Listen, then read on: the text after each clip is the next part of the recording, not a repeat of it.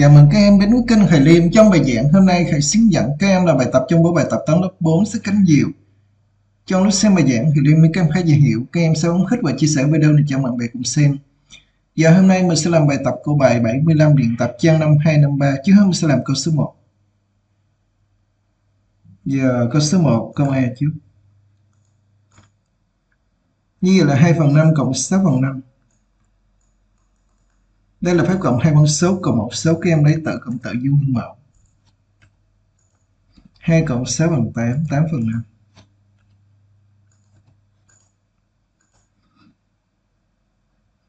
Tiếp theo là câu B 4 bằng 9 cộng 7 phần 9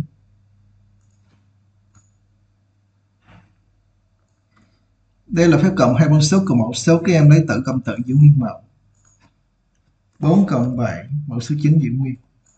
4 cộng 7 là 11, 11 phần 9.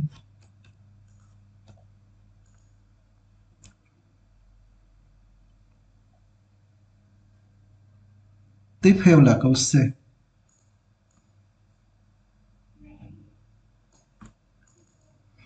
Đây là phép trừ hai con số cùng một số các em lấy tử trừ tử giữ nguyên mẫu 6 trừ 4. Một số 7 là 6 trừ 4 bằng 2, 2 phần 7.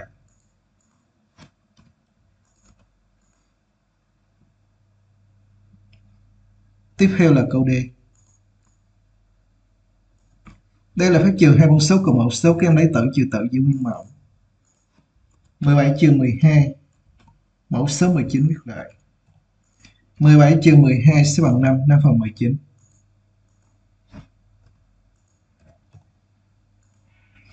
Như vậy là mình xong câu số 1, câu số 1 kênh hiệu bài, cái xong hết video hãy biết kênh hiệu bài.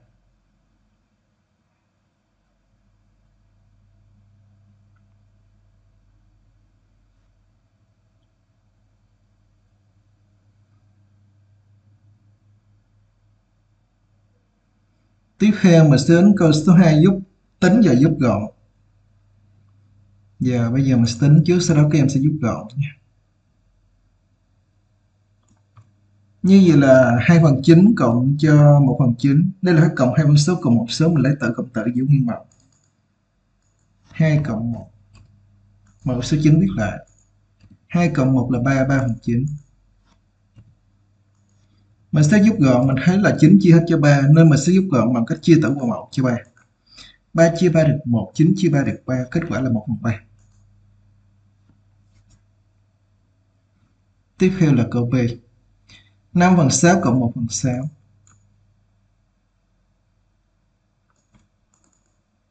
mình sẽ lấy tử cộng tử giữ nguyên mẫu 5 cộng 1 mẫu số 6 viết lại. 5 cộng 1 là 6 6 phần 6 6 bằng 6 có nghĩa bằng 6 chia 6 bằng 1. Tiếp theo là câu C.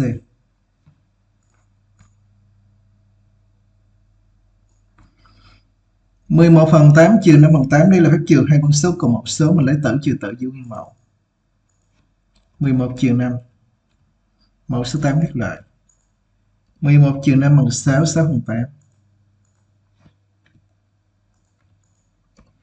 Giờ bây giờ mình sẽ giúp gọn phân số bằng cách chia tử vào mẫu cho 2, 6 chia 2 được 3, 8 chia 2 được 4, kết quả là 3 phần 4.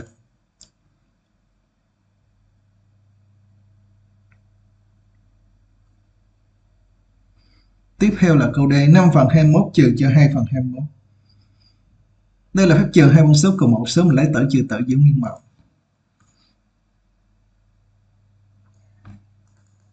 Mình sẽ lấy 5 trừ 2 mẫu số là 21 5 trừ 2 sẽ bằng 3 3 phần 21 mình sẽ giúp gọn phân số, mình thấy là tử mẫu sẽ chia hết cho 3 3 chia 3 được 1 21 chia 3 được 7 kết quả là 3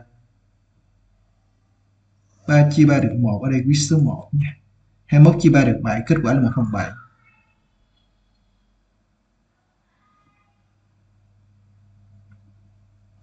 như là mình xong câu số 2 câu số 2 kem hiểu bài cái xong hết video hãy biết kem hiểu bài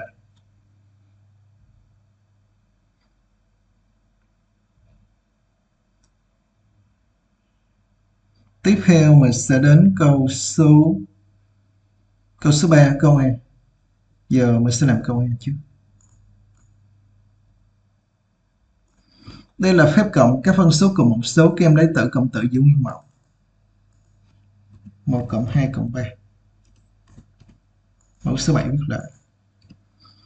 1 cộng 2 là 3, 3 cộng 3 là 6, 6 cộng 7.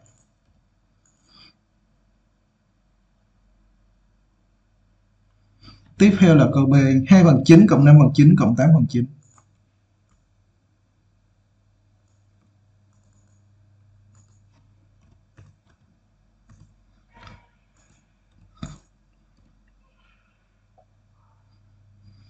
Dạ, như vậy là 2 cộng 8 là 10, cộng 5 15, 15 phần 9.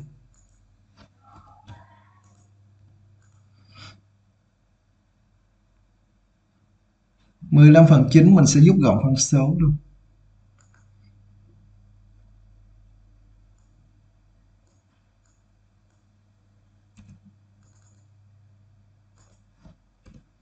mình thấy là tử mẫu sẽ chia hết cho ba mình sẽ rút gọn chia tử bằng một cho ba 15 chia 3 được 5, 9 chia 3 được 3, kết quả là 5 phần 7.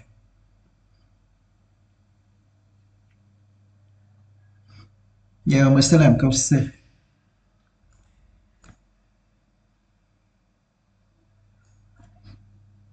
Đây là phép trừ các phân số mình lấy tử trừ tử giữ nguyên mẫu. 13 trừ 5 trừ 1. Mẫu số 14 viết lại. 13 trừ 5 trừ 1 Sơ bằng 7, 7 phòng 14. Mình sẽ giúp gọn, mình thấy là 14 chia cho 7 nên sức giúp gọn chia tử bằng 1 cho 7. 7 chia 7 được 1, 14 chia 7 được 2, kết quả là 1 phần 2.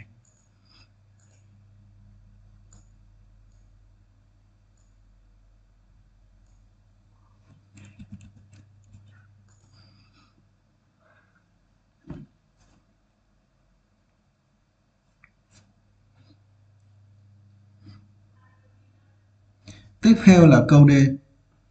Đây là phép trừ các phân số cùng một số các em lấy tử trừ tử giữ nguyên mẫu. Như mình sẽ lấy 7 trừ 4 trừ 3 phần 11. 7 trừ 4 trừ 3 bằng 0, 0 phần 11. 0 phần 11 thì sẽ bằng bằng 0.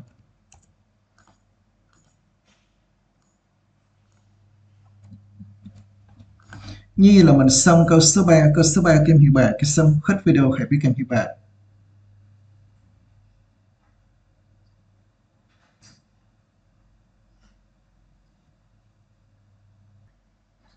Tiếp theo mình sẽ làm câu số 4. Câu số 4 người ta kêu mình viết à, ví dụ hai con số có cùng mẫu số giờ đố bạn cộng hoặc trừ hai con số đó nha. Giờ bây giờ mình sẽ đưa ra hai à, cái phân số, sau đó các em sẽ đấu bạn của mình cộng trừ hai con số đó ví dụ hay phần số chứ.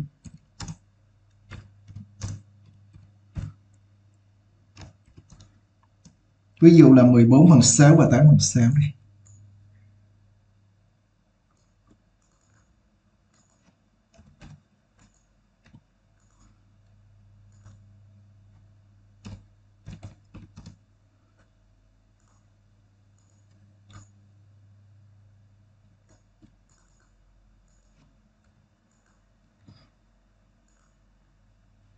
Giờ bây giờ mình sẽ thực hiện cộng trừ hai phân số này.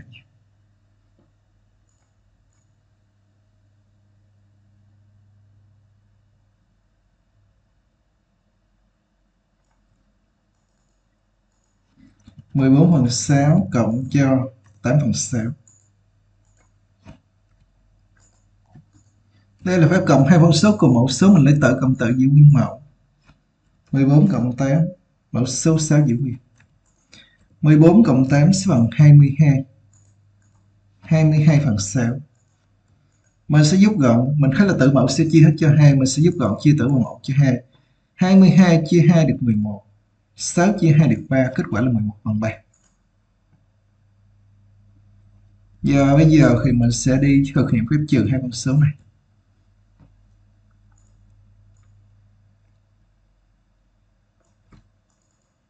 11 phần sáu. 14 phần 6 trừ cho 8 phần 6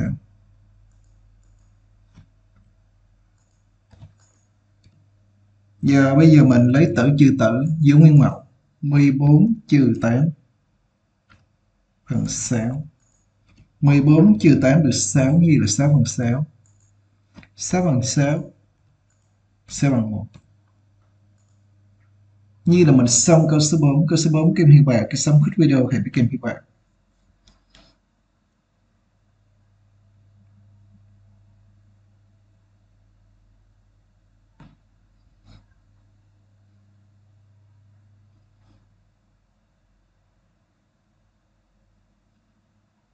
Tiếp theo là câu số 5, một vòi nước chảy vào một bể.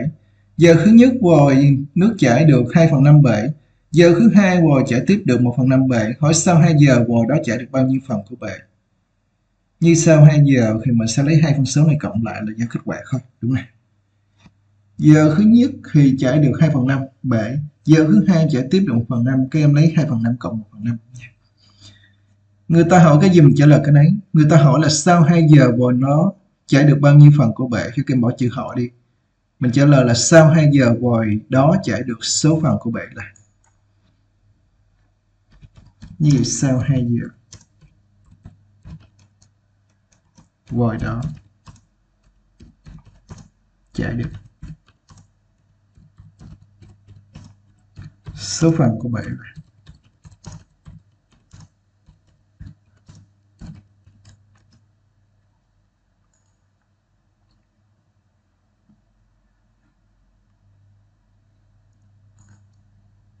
như vậy mình sẽ lấy à, 2 phần 5 cộng 1 phần 5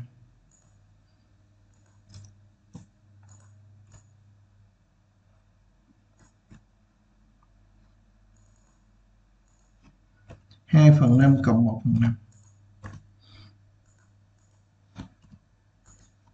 sẽ bằng 3 phần 5 đúng không? Cô bạn.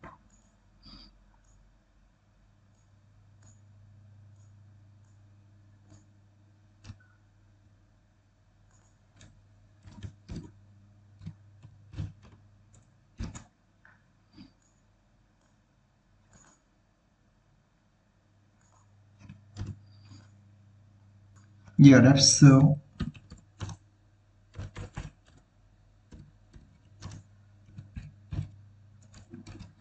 đáp số là 3 phần 5 của bạn.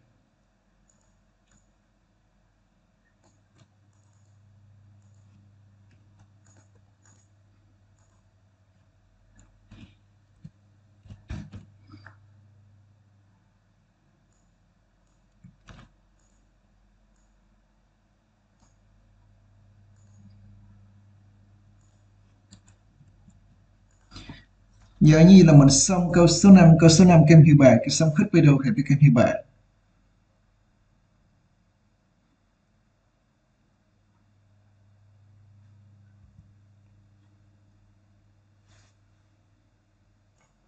Giờ tiếp theo mình sẽ làm câu số 6.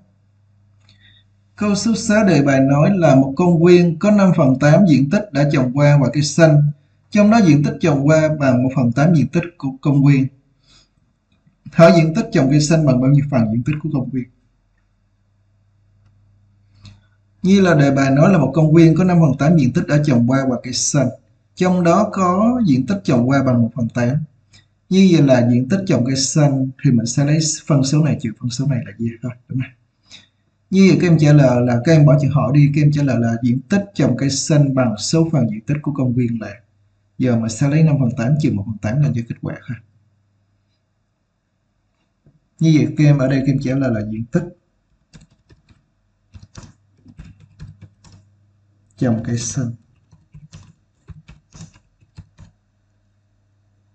bằng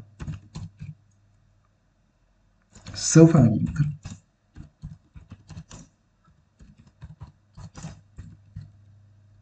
Của công viên là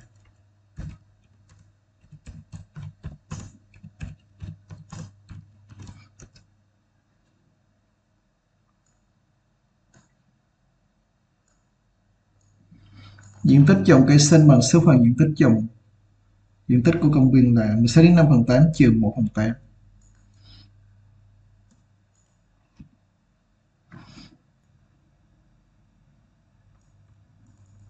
5 phần 8 trừ 1 phần 8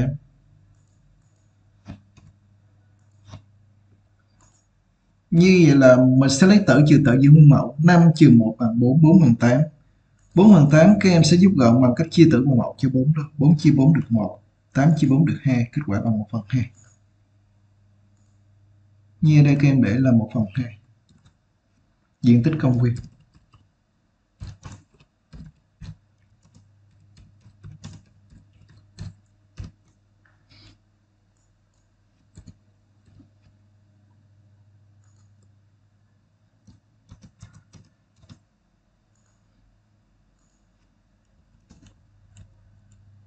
Như đáp số sẽ là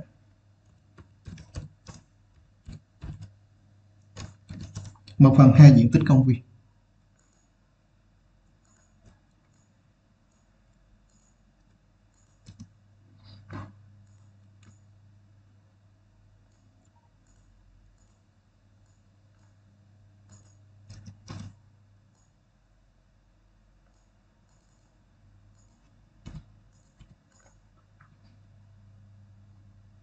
Giờ như là mình xong câu số 6, câu số 6 kem hiệu bài, cái xong hết video hãy biết kem hiệu bài.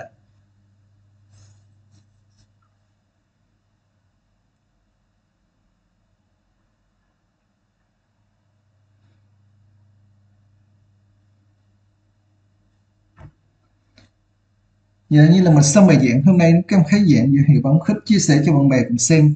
Về này cho đăng ký kênh Hải Liêm, cái số muốn đăng ký bấm chuông để xem bài giảng mới nhất Hải Liêm. Hãy chúc các em học tốt tạm biệt kém nhé.